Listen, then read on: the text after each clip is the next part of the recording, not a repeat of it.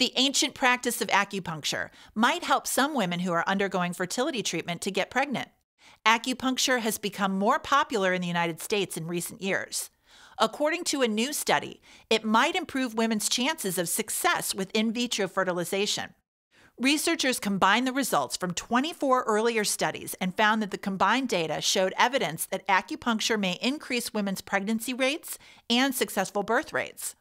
In vitro fertilization requires removing a woman's eggs, fertilizing them with sperm to create embryos, then placing the embryos into the woman's uterus. This process can be stressful and expensive, and many times it doesn't work. Some experts say acupuncture may be helpful by affecting blood flow to a woman's uterus and ovaries, and it may help them cope with stress during a challenging time. Women who are undergoing IVF and are interested in acupuncture should first talk to their doctor and fertility specialist. I'm Dr. Cindy Haines of HealthDay TV, bringing you health news that your doctors are reading.